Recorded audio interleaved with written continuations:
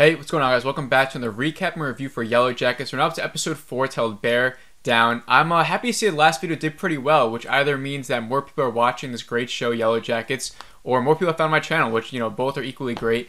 So, uh, you know, for episode 4, I did think it was a little bit slower, but there is still a lot to discuss and talk about and theorize about.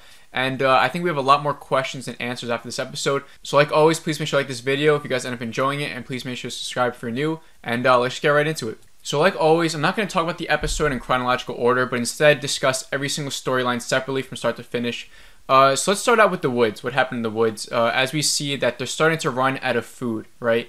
And so luckily, the cabin that they found has a lot of supplies and weapons. Because it turns out the guy that was staying there was preparing for the apocalypse, right? Or that's what they think. And so what happens first is that Nat and Trevor have a little shooting competition to find out who's the best at shooting since Coach Ben, you know, he has no leg right now, even though he does know the most about hunting from what he says, uh, he has to entrust Nat and Trevor to go out and hunt since he's got only one leg right now. So Nat wins like this little uh, shooting competition.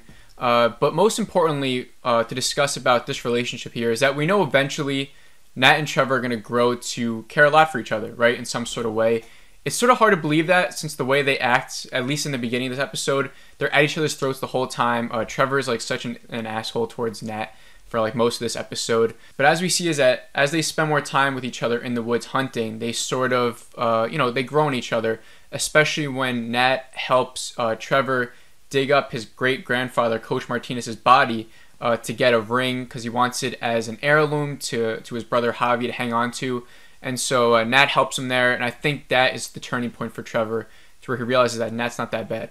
So after this event, like I said, they start to like each other a little bit more. Uh, they take down a big deer together. They bring the deer back to the camp.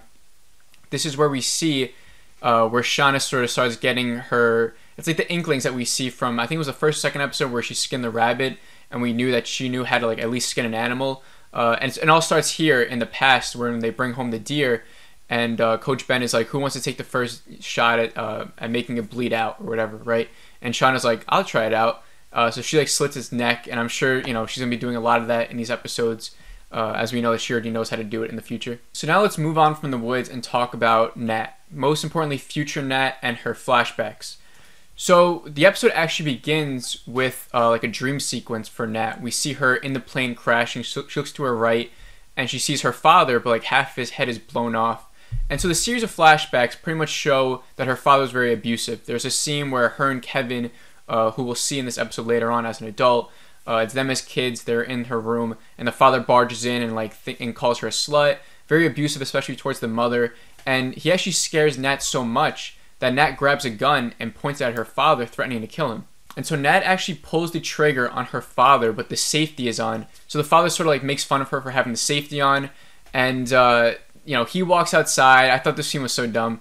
When, uh, but then he comes back and he's angry and he trips and the gun goes off and he shoots himself in the head and that's how he dies. Uh, you know, I think the whole episode we kind of thought like, wow, did Nat really kill her father? Uh, to sort of make sense for that character since she's so dark. Maybe that's like such a big baggage on her. I think there's even a line in this episode where someone says, "We all know that's not the only blood you have in your hands." I forgot who said that, um, but it turns out that I guess the father's blood could still be on her hands, but not really. I mean, he killed himself by tripping, and I thought it was such a dumb way for him to die.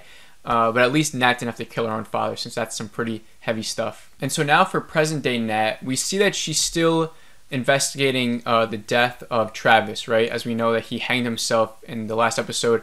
She obviously thinks that he was actually murdered. So in this episode, we see that she's bothered uh, and not knowing whether he was loaded or not. You know, if he was either on drugs or not, uh, because they kept each other uh, sober. You know, like they always checked up on each other, is what she said. And so she wants to pretty much use Kevin uh, in the future since he's a police chief now. They go to this nice dinner, whatever, whatever. But at the end is where she brings up, uh, you know, her thoughts about Travis. Now she brings up that she doesn't. She's sort of upset that she doesn't know if he was loaded or not. She tells that to Kevin. Kevin, as a police chief, and obviously liking Nat, he goes in for a kiss, but she pulls away. Uh, he says that he can maybe look into the toxicology report for Travis to see if he was loaded or not and Nat is thankful for this and actually gives him like a little kiss goodbye before she leaves. Uh, so I think you know I think she probably has feelings for Kevin. I don't think she that's just like on her mind right now. Uh, I think she's more using Kevin right now than actually having feelings for him by going out on a date. Uh, that's just something I noticed. I think she's more using him than actually liking him. And so now let's move on to Taissa and her story in this episode.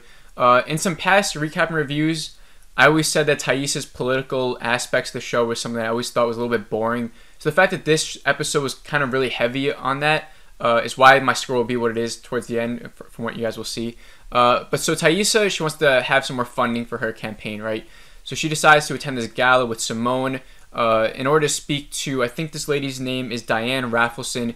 She's this big, like, uh, critical financer, right? And she could put a lot of money into her in, into her campaign. So she goes there to try and talk to her. And so at the gala, we learn that Taissa is a vegetarian. Uh, you know, this sort of backs up my cannibalism theory I had last episode, where I do think we'll see cannibalism. I do think Taissa will resort to cannibalism in the woods. And to see that she's a vegetarian now, I think could play into that. Uh, but most importantly, she starts to hallucinate as well. She sees a giant deer head with antlers. Someone's you know moving it along. We know that that's not actually deer head because she talks to Diane, the uh, financial girl. She says, "Did you see? Did you see that pig head? You know?" And she saw deer head instead. She also sees like this wolf, you know, like, like in the distance.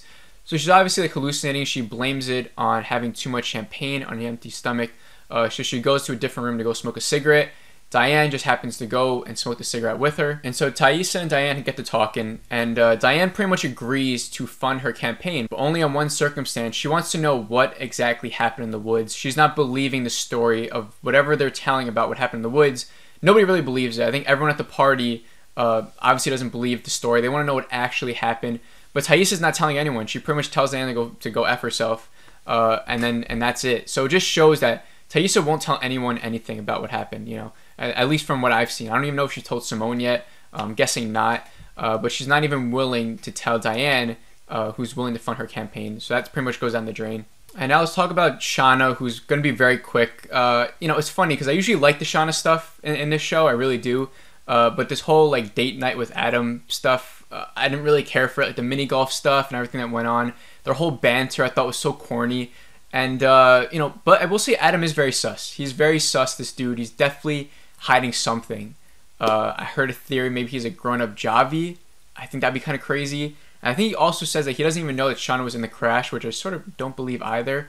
Uh, but so they go on this whole date night, right? The most important thing is that before they go like jump off this bridge into the water for like because it's fun, they do all these weird dares or stuff for like they, they think it's fun. I think it's so corny. I thought when they pay the guy to get them alcohol because Sean never had a high school experience, I thought that was so dumb. I don't want to blame. I don't know if it's bad writing or just I don't know what they're doing with that character. I think that's such a dumb moment for that character to, to do. Um, but most importantly, right before they jump off the bridge, she sees a hallucination of Jackie, right? And it's 1996 Jackie, uh, because as we don't know if Jackie is alive or not. Um, but I don't know why she hallucinated Jackie. You guys de- will definitely have some theories. Please tell me the theories. I don't really have any good ones I think are solid enough yet. Uh, so I do want to wait on that. She definitely gonna have some sort of part to play, maybe in Jackie's death. That's you know that's really the obvious one. Um, but so she gets home to her husband Jeff. Uh, Jeff asks, uh, "How was the book club?" I guess it's obviously the excuse that she told him of where she was going. And so Shauna gets a call from Misty, and Misty just tells Shauna that Travis is dead. And so this sort of like deeply disturbed Shauna, but I don't know why. Like, why is Shauna so disturbed by Travis's death? I mean, obviously they were on the island together, um, but like she was so concerned that it makes me think that uh, they obviously either had something, or maybe he knew something about Shauna, or something. There's something there. Uh, I don't exactly know what yet. But uh, what, why do you guys think Shauna was so disturbed by the announcement of Travis's death? Because it doesn't seem like they were that close in in uh, in the flashbacks, right? So why would she be so upset about that? Uh, let me know that down in the comments if you guys have any theories. So those are like the big storylines of this episode, right? There obviously was a couple other moments I didn't get to discuss, like uh, when Nat is on the date with Kevin. Uh, Misty is there, and she notices Jessica, who's the reporter that Taissa hired, is also there, and she sort of lets Nat know that uh, that she shouldn't underestimate Jessica, and that she's someone that they might have to be scared of. And then there's another cool moment where they actually find a plane on the island in the 1996 flashback and one of the girls turns the plane on, and uh, it almost kills Van. But then Jackie saves Van's life, and uh, and they're able to turn the plane off, right? And I think the plane probably belongs to the owner. I think it's what they said of the, of the cabin, maybe. And um, Jackie asked Van if they're even now, because as you guys remember in the second episode, I believe in the beginning, uh, Jackie left Van to save herself. So she asked if they're even now, and then Van doesn't really reply. I thought that was a cool scene with the plane. Uh, I don't know if it's gonna play any future like part in the future of the series. But I thought it was a cool little scene. And one other thing you guys might have noticed at the end is when Misty trips Coach Ben. Um, it's so weird. Misty's such a weirdo, right? Because even earlier, if you guys remember, uh, Coach Ben has to like go and take a shit, and Misty's there to like help support him because he's got no leg, and she starts like singing. She's such a weirdo, uh, but she's a great character. I think she's so much fun. And so she trips Coach Ben just so she could like go and nurse him, like take care of him. It's such a she's so weird. That was another little you know funny moment in the episode. That's pretty much all things I want to discuss or recap. Um, so my rating for this episode is actually a uh, 2.7 out of five. I didn't think that it was bad, but I didn't think it was that good either. You know, like the first couple minutes, I was thinking to myself, I was like, all right, it's a little bit slow. Uh, it's sort of taken a while to get going, but sometimes that happens. And I realized just like the whole episode is kind of slow, you know. And uh, the political stuff with Taissa never interested in me. And uh, you know the hallucinations were cool, but the Diane stuff and the fundraiser uh, financial stuff, I didn't really care that much for it. And then Shauna and her stuff with Adam, like I said, felt so corny, and a lot of it felt very filler. Like whenever they were on, and this scene would end, I would be like, "What did we get out of that scene?" You know, like the mini golf scene, the the buying alcohol scene. I was like, that, that was kind of dumb. So I didn't really enjoy those moments either. Uh, everything with the woods I thought was good, but there was a lot less woods in this episode. Uh, I think Nat and Travis stuff was pretty good. I like the whole shooting competition. I like that. And then uh, Nat's flashbacks were also really interesting with the dad and stuff like that. Even though the dad's death was so weak, I thought that was so dumb. Um, but it is what it is. So I think like overall, I hope this is the weakest episode we get so far because I have really been liking this show. And I think this episode, like I said, it was fine. I don't think it was good uh, but I don't think it was bad either. And this is what episode four. We didn't need it to be anything good. And there's a lot of uh, scenes in here that I think are going to set up a lot of future things, right? So like Shauna's um, her her hallucination of Jackie, we get to find out what's going to happen there. Uh, with Taissa, we get to find out that she's really going to go into cannibalism as we got more hints uh, with the deer head and her being vegetarian. Uh, and her son is still super weird. That one scene where he's hiding in the in the in the, in the wardrobe, and you see his face, such a creepy creepy looking kid, but a great actor for, for putting on that performance. But yeah, I think overall this episode gave us a lot more questions, but not really enough answers or a lot to uh, dig into.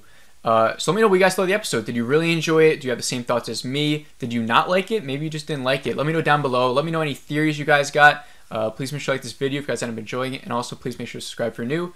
Have a great rest of the night, great rest of the day, and I'll see you all in the next video.